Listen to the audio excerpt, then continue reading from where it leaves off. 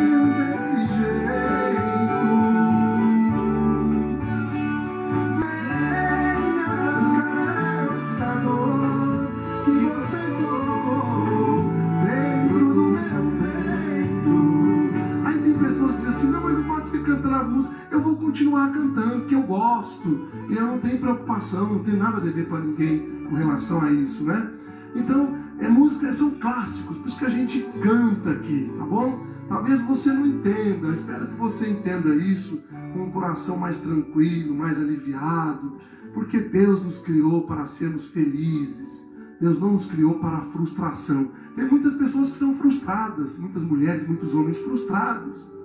E aí, por questão de ser um homem frustrado, uma mulher frustrada, começa a projetar no outro aquilo que você mesmo é. Então eu não sou frustrado, não tem problema nenhum. Eu não tenho que projetar no outro os meus problemas. Eu resolvo os meus problemas.